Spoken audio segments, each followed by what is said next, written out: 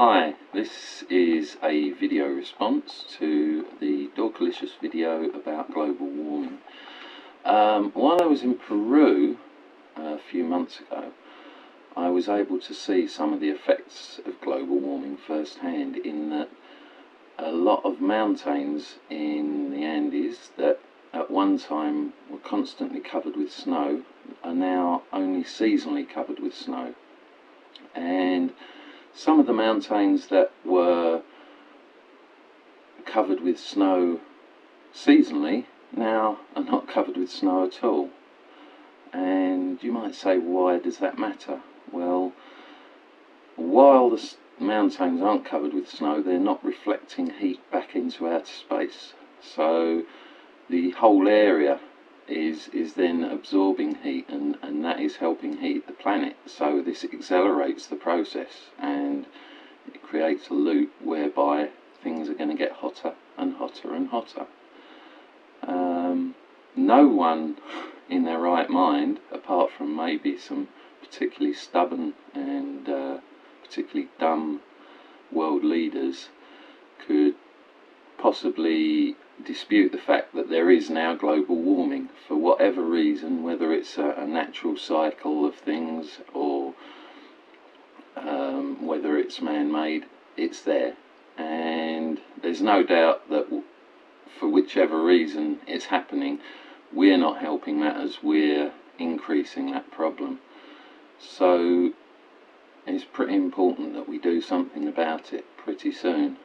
And also, while I was travelling this year, I visited Easter Island, which was a place that at one time was used as an example of what happens when uh, human beings overuse the resources around them.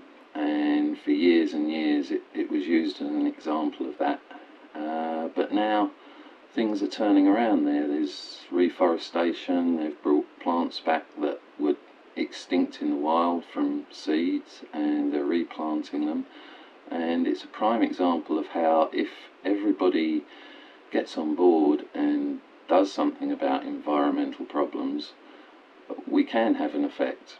But it literally takes everyone in the community and in this instance the, the, the problem is worldwide so it's literally everyone worldwide at the moment most of the effects of global warming are felt by people in underdeveloped countries, and they're, they're not the people causing the problems, they're, they're the ones suffering. The ones causing the problems aren't really feeling it, and sometimes if, you, if you're living, as I do, in a country that's a long way north um, of the equator, and it's quite a cold climate, you might think, well, you know, if the climate goes up two or three degrees, well, that's a good thing for me. But in reality, the way weather cycles work, um, it probably isn't. And global warming doesn't necessarily mean that your bit of the world is going to get a little bit warmer. It is more likely to mean it gets a whole lot wetter. It could even mean that it gets colder as the weather patterns switch. So it's pretty important that we all do something about this and I guess that starts with awareness and that's why I'm making this video and I'm asking you to watch Dorkalicious's video about global warming and draw your own conclusions and try and think what you can do to improve the situation because if you just leave it to governments, governments can make regulations but regulations take decades to have an effect on anything, and it's only if the world changes its behaviour that, that we can maybe slow global warming. No one's, I, I doubt very much, will stop it, but it, it may make the difference between your children and your grandchildren and your grandchildren's grandchildren. It might make a, a drastic difference to their lives and the amount they suffer for what we're doing now. So that's just a little bit of food for thought. Uh, I felt it was necessary to make a video comment to this video, so that's all I have to say for now. although I probably will say something else on the subject in the future.